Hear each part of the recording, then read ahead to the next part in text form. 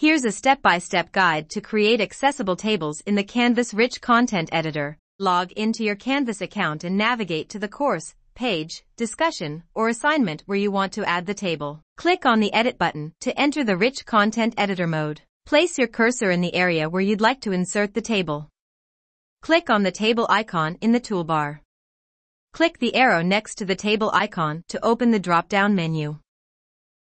Choose the dimensions of your table by selecting the desired number of rows and columns. Click on the squares to set the size of your table, and the table will be inserted automatically. After the table is inserted, make sure to follow these best practices to ensure accessibility.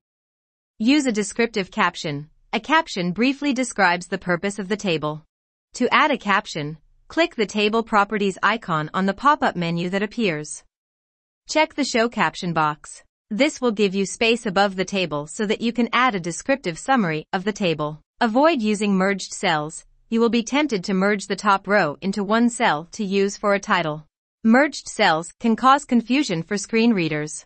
Instead, try to keep the table structure as simple as possible with separate cells for each piece of data. Use row headers. Headers help screen readers navigate the table by differentiating between header cells and data cells.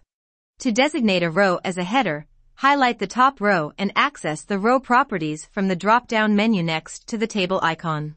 Change the row type to header. Keep a simple and clear layout. Complex tables with nested tables, multiple layers, or irregular structures can be difficult for screen readers to interpret. After you've ensured that your table is accessible, Click Save to save your changes.